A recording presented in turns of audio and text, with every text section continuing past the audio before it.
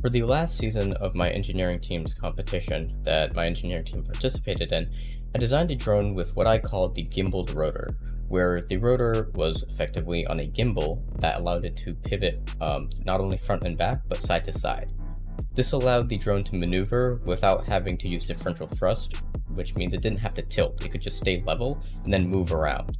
And for a drone that had wings and had to carry a heavy package, this was absolutely necessary for us. Now, in doing research behind that design while designing it, I found that not a lot of people had done that before. I couldn't really find anything identical to what we were shooting for, and after the competition was over, I decided to take it upon myself to make the world's first gimbal rotor drone. Because I'm limited with the materials that I have access to, and also the level of technology that I have around me, I had to kind of find a different method of doing this. As trying to print the large blade guard that the motor would have to use as a gimbal was not really viable.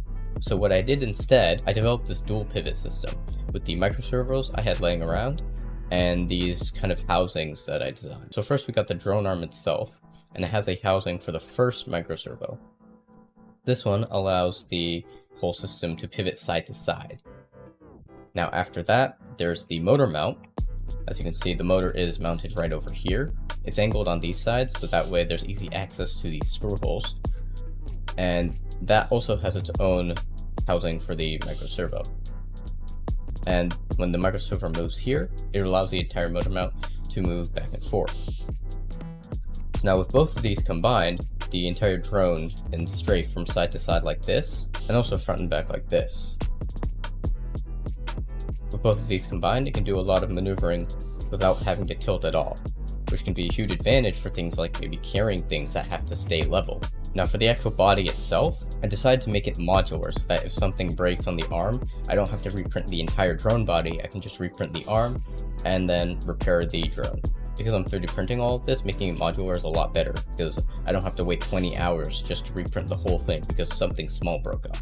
For the arms to attach to the body, I designed these cavities where the arm could almost press fit into. That way it could be nice and snug and not be too loose to the point where it would wiggle around while the drone's trying to fly and cause stability issues. Then the design of the cavity itself, it goes around this entire area of the arm where the most force is going to be from the weight of the thrust coming from the motor. So that way the PLA filament I'm using won't break and it'll stay nice and structurally sound. Now to keep the arm in that cavity, I developed these arm caps that are perfectly sized to the cavity and have the screw holes to kind of secure it on. Now, because of all these cables that are coming from the 8 servos and then the ESCs for the motors, I had to make sure I was cable managing it properly. So that way the cables don't get stuck on one of the pivoting part of the entire drone.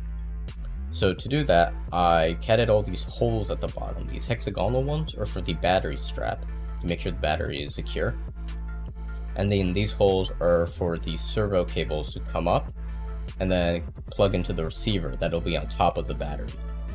This little cube is a kind of mock-up I have of the battery. So that way, all the servo cables will be properly organized and managed and nothing will get tangled. Now the CAD that I made for the 2022 engineering team was one of the most complex things I've made. And this was almost harder because I not only had to use my extensive SolidWorks knowledge that I've gained through the years, but I had to use the knowledge I gained from my internship, which was regarding things like tolerancing, manufacturing, and actually developing the things that you CAD digitally. So I had to make sure everything was 3D printable, that everything was structurally sound, nothing would break, and I had to make sure everything was tolerance right, that I had the proper press fit for the arms and then also to make sure that everything was balanced, that the center of gravity was right at the center of the drone, and just to make sure that this thing would properly fly. Now, after the CAD came the actual drone.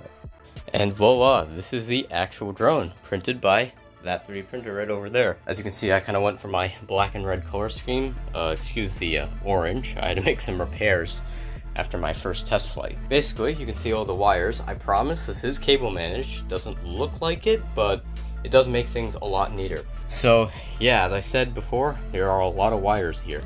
We've got all the ones for these front pivoting, and all the ones for the side pivoting motors, and then all the ESC, because they need the power that goes to the motor, but also the signal of how much power to actually give the motors that comes from the receiver. Which is paired to this controller right over here. Conventionally, drones have a flight controller, because they use differential thrust to move, so they have to control how much power goes to the motors based on the inputs from the controller. So there's like an onboard flight computer to kind of manage that. Because the only thing that's really happening for my maneuvering is just moving a servo, I didn't really need a flight controller, so I just didn't bother. Instead what I did is because all the motors will just be receiving the same power, I took the power from the motor and I used a uh, like 1 to 4 splitter for the XT60 connector that the motors and the battery use. So it just takes all the power from the battery, splits it up into four of these power signals going to each of the motors. And since they're all going to receive the same signal of how much power to input, I took the ESC cable uh, for each of the ESCs, put them all into a bunch of Y splitters. That's what the real mess of all of this is, all the Y splitters I had to do and had to like daisy chain. But I turned all of those into just one, one of the wires. That is being put into channel two right here. All of those are just going into one of these receiver ports. So then after all of that, then we've got all of the servos. So I have the front uh, strafing tilt servos linked to one Y splitter, the back linked to another, since I want this to strafe side to side, but also be able to turn. So the front and back have to be in separate controls. And then the tilt front and back, for all of these, I just linked all of them into one input, since they're all gonna go front and back at the same time. All right, so I've got this turned on. As you can see, everything's primed up. This one's a bit shaky because the micro servo can't really handle it, which is the main issue with this so far. But as you can see, when I do right stick up, you've got that first level of pivoting.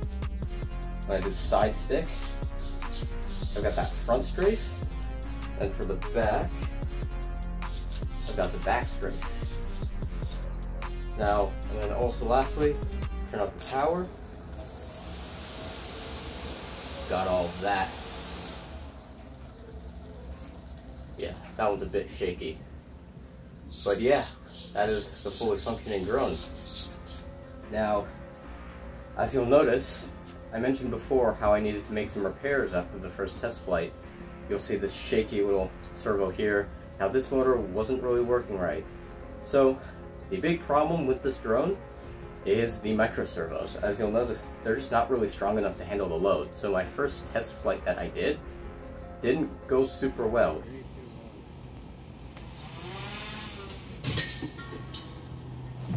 It took off, but then immediately these micro servos that are meant to handle the strafe could not handle the strafe, and the drone immediately kind of went sideways and then crashed, which is what caused those pieces to break. So in a future iteration, I plan to use torque servos instead, and also kind of just make this design a bit lighter. It's, it's not light right now, it is kind of heavy.